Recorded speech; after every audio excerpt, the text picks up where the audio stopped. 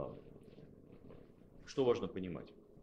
И почему общество знания а, и сейчас занимается, и будет все больше концентрироваться на теме работы не только с молодежью, но и с людьми старших поколений. А, современный мир абсолютно не такой, к которому мы привыкли в 20 веке, ну и ранее.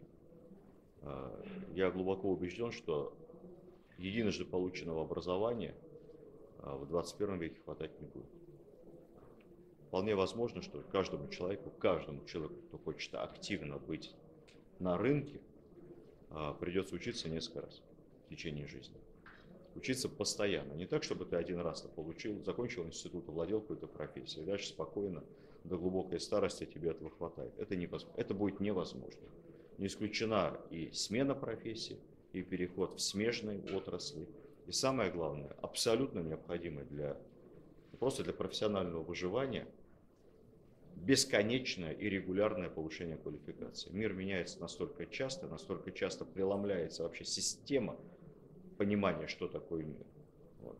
Что никакого задела, полученного в 20 лет, никому никогда хватать не будет.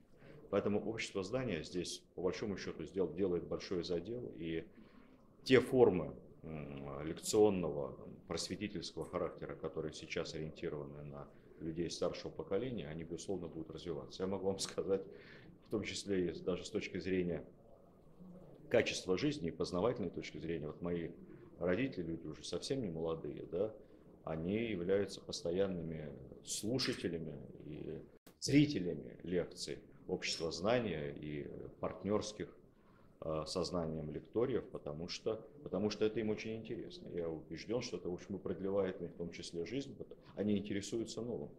Они переходят с одной лекции знания на другую, на соседнюю, потом обмениваются этим со знакомыми, рекомендуют.